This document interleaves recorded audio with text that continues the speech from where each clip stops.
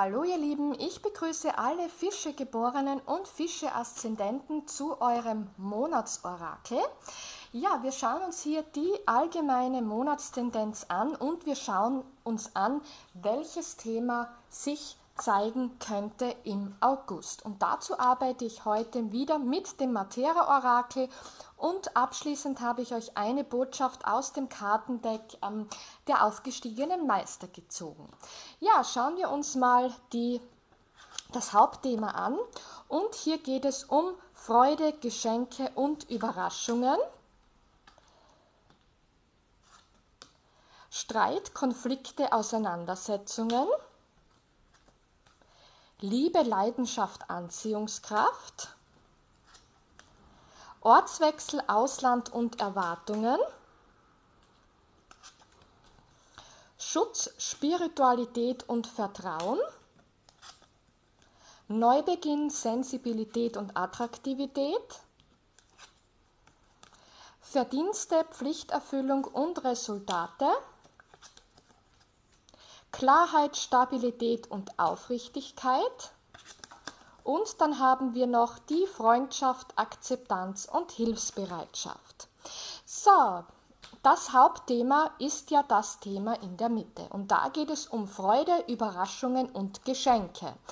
Wir haben das Thema, jetzt rücke ich da mal rauf, damit ihr die unteren Karten auch sehen könnt, haben wir das Liebesthema. Das heißt, wir können schon mal sagen, ähm, das Hauptthema ist, es geht hier um die Liebe, weil in diesem Kartendeck ähm, natürlich auch Berufskarten sind und ähm, Finanzkarten, Familienkarten und wie gesagt haben wir hier erstes Mal auch noch die Freundschaft. Ja, es geht um Freundschaft und um die Liebe.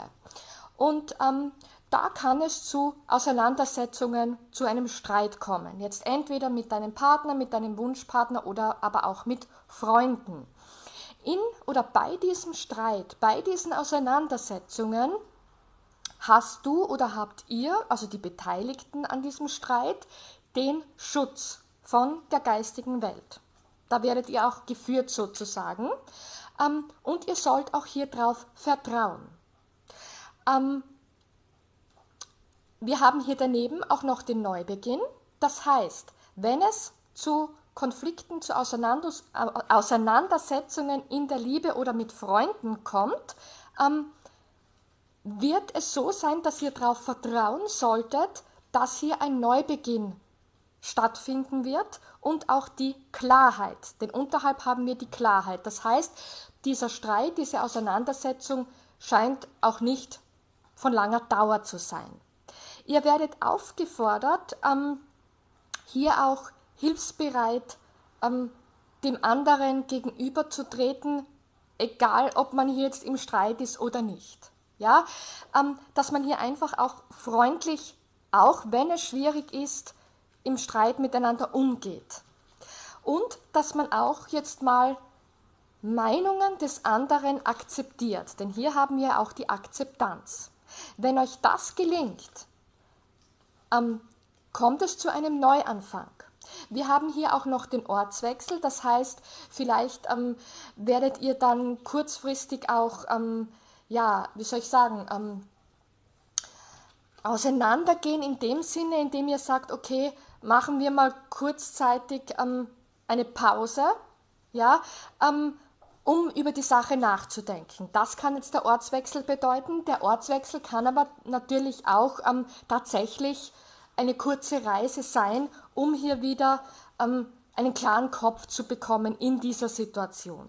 Ja, es kann natürlich auch sein, dass es, weil ich hier ja ähm, der Ortswechsel sagt ja auch die Reise aus, dass du vielleicht, wenn du jetzt mit deinem Partner in den Urlaub fährst, ja, dass es hier mal zu einem kleinen Streit kommt. Auch im Urlaub kann man streiten, ja, das ist natürlich auch eine Möglichkeit. Oder eine weitere Möglichkeit ist, dass wenn du jetzt mit deinem Partner zum Beispiel ja, ähm, gestritten hast, dass hier eine Überraschung auf dich zukommt, ähm, indem dein Partner jetzt zum Beispiel zu dir sagt, oder vielleicht auch du, ja, dass du hier diesen Vorschlag machst, ach, lass uns einen Kurztrip machen, vergessen wir das Ganze und ähm, ja, raus aus unserem Alltag und ähm, machen wir einen Neubeginn. Ja, dass das auch ein Kurztrip auch gemeint ist. Ist natürlich auch möglich und dass das natürlich dann Freude und eine Überraschung ist. Entweder schlägst du das vor oder dein Partner. Ja, mit Wunschpartnern kann man das auch sagen. Ja, ähm, heißt jetzt nicht, dass du mit deinem Wunschpartner hier ähm, in den Urlaub fährst. Ist natürlich möglich, aber es kann natürlich auch sein, dass du dir hier kurzzeitig eine Auszeit nimmst, um eben über diesen Streit, über diese Konflikte nachzudenken. Ja, ähm, und da haben wir eben die Klarheit, das heißt, die Klarheit in dieser Situation kommt sowieso rein, kommt, es kommt auch ein Neubeginn rein, man soll hier auch darauf vertrauen. Ja? Dann haben wir noch die Verdienste, die Pflichterfüllung, die Resultate. Das bedeutet natürlich, ja, wenn man hier ähm, versucht, diesen Streit ähm, zu, oder wenn man versucht, diesen Streit zu bereinigen, ja, bekommt man natürlich ein Resultat, nämlich die Klarheit.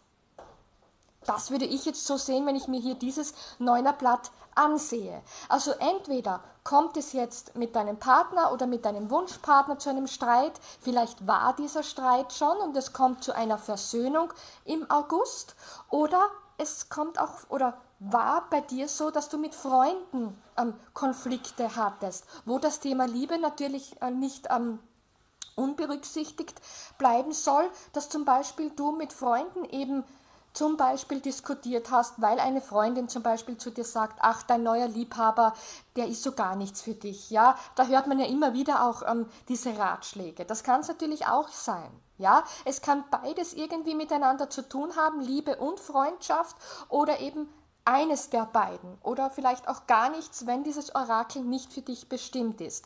Kernaussage des Ganzen ist, egal um welche Auseinandersetzung es sich handelt, man soll darauf vertrauen, dass hier eine positive Überraschung auf dich zukommt, dass die Klarheit kommt, ähm, dass natürlich dann, wenn du darauf vertraust, dass du natürlich das Resultat der Klarheit bekommst. Das ist ja dann das Resultat der Sache, ja, wenn man eben ähm, einen Konflikt bereinigt. Und wie gesagt, vielleicht tut dir ein Ortswechsel auch gut, um einfach hier über diese Sache klar nachzudenken, einen kühlen Kopf auch zu bewahren. Und wie gesagt, wenn es einen Streit, eine Auseinandersetzung gibt, haben wir hier den Neubeginn und ähm, dass dieser Streit nicht von langer Dauer sein wird. Ja, Konflikte gibt es immer wieder im Leben und das scheint halt einfach jetzt auch einen Konflikt zu geben, wo hier die Möglichkeit besteht, das wirklich aus der Welt zu schaffen.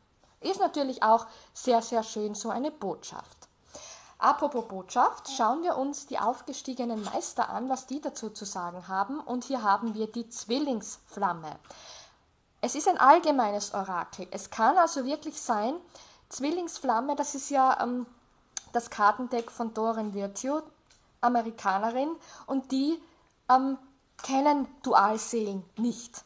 Ja, die sagen zu Dualseelen Zwillingsflamme. Für mich ist aber Zwillingsflamme und Dualseele nicht dasselbe, denn das sagt ja auch schon das Wort. Zwilling, man ist sich sehr, sehr ähnlich. Dual ist das Gegenteil. Ja, schwarz und weiß. Wir leben nun mal in einer, ähm, äh, in der Dualität. Und ähm, es kann hier wirklich hier deine Zwillingsflamme, dein Seelenpartner, deine Dualseele damit gemeint sein, dass du hier damit äh, Auseinandersetzungen haben wirst, einen Streit. Oder es geht um dieses Thema. Ja, zum Beispiel eine Freundin ähm, klagt den ganzen Tag, wie schlecht es ihr geht ähm, mit der Zwillingsflamme. Und dann sagst du als gute Freundin, wir haben ja hier die Freundschaft auch liegen, ach schön langsam nervt mich dieses Thema jetzt. Kannst du nicht über irgendwas anderes mal reden? Ja, da habe ich auch ähm, sehr, sehr oft ähm, schon solche äh, Dinge erlebt, wo einfach ähm, das Umfeld sagt, ich kann dieses Thema schon nicht mehr hören. Das ist eine Möglichkeit, dass es einfach um das Thema geht, nicht jetzt mit deiner Dualseele, mit deinem Seelenpartner, mit deiner Zwillingsflamme, ja, dass du hier mit dieser Person eigentlich gar keine Auseinandersetzung hast, sondern vielleicht auch mit Freunden, die einfach sagen, jetzt nervt mich dieses Thema schon. Wann hackst du das endlich mal ab?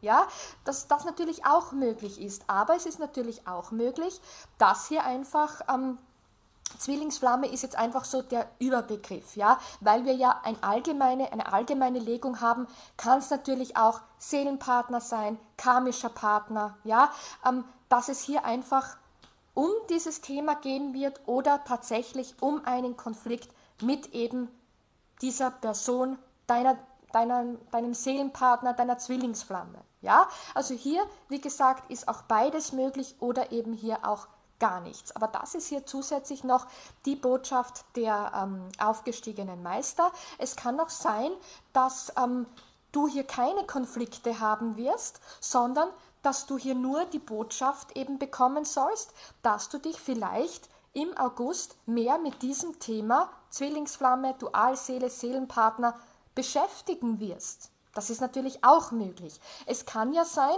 dass hier alles zu 100% auf dich zutrifft. Es kann aber auch sein, dass du nur diese Botschaft bekommen sollst. Ja, das ist ja das Interessante an so einem Monatsorakel zu schauen, was liegt in den Karten, was ist tatsächlich so passiert. Ist natürlich sehr interessant. Ich wünsche euch allen einen wunderschönen August.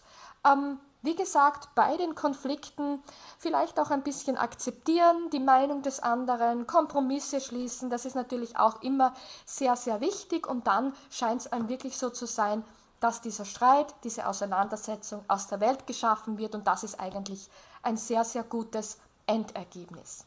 Ich wünsche euch alles, alles Gute.